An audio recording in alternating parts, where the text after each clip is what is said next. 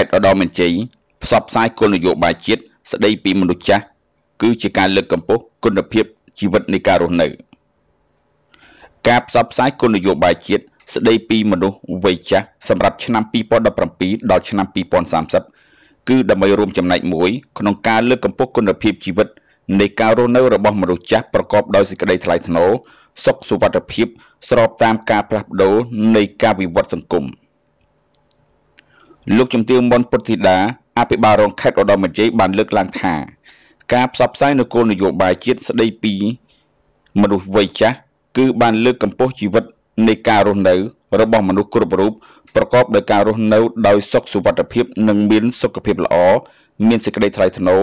ដែលជាបំណងប្រាថ្នារបស់មនុស្សចាស់គ្រប់រូបចង់បានលោកជំទាវអភិបាលរងក៏បានបន្តផងដែរថាគោលនយោបាយនេះចាំបាច់ ត្រូវមានការគ្រប់គ្រងពីប្រព័ន្ធគាំពៀសង្គមដោយផ្ដោតសំខាន់ទៅលើការគាំពៀសម្រាប់មនុស្សចាស់គ្រប់រូបដែលជាការឆ្លើយតបទៅនឹងតម្រូវការជាក់ស្ដែងចាំបាច់មួយរបស់ពួកគាត់គ្រប់រូបស្របតាមការផ្លាស់ប្ដូរនៃការអភិវឌ្ឍសង្គមសេដ្ឋកិច្ចព្រមទាំងបានផ្ដល់ឱកាសដល់មនុស្សចាស់ឲ្យមានឱកាសបានចូលរួមការងារនានា ដោយសេរីព្រមទាំងមានសេចក្តីថ្លៃថ្នូរក្នុងគ្រួសារសហគមន៍សកម្មភាពសាសនាសកម្មភាពនយោបាយផងដែរ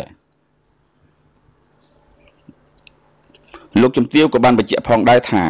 គោលនយោបាយជាតិស្តីពីមនុស្សចាស់បានផ្ដោតសំខាន់ទៅលើអតិភិបចំនួន9ចំណុចទី1សន្តិសុខហិរញ្ញវត្ថុទី2សុខភាពនិងសុខកមាលភាពទី3 របៀបរបបរស់នៅ ទី4បរិស្ថានអំណោយផល5វ័យចាស់សកម្មភាពនៅសហគមន៍មនុស្សចាស់6ទំនាក់ទំនងជាតិអន្តរជាតិ7ការមិនរំលោភបំពានដោយហិង្សាលើមនុស្សចាស់8ស្ថានភាពមានភាពអាសន្ន9ការត្រៀមខ្លួនរបស់មនុស្សវ័យក្មេងឈានចូលដល់មនុស្សចាស់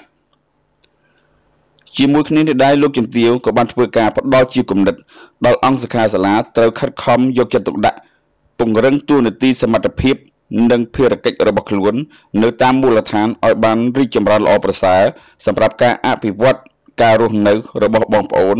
និងសហការជាមួយអាជ្ញាធរមូលដ្ឋានដើម្បីផ្សព្វផ្សាយបន្ថែម ពីគោលនយោបាយជាតិស្តីពីមនុស្សវ័យចាស់ឲ្យដល់ស្រទាប់យុវជនគ្រប់រូបបានដឹងផងដែរ។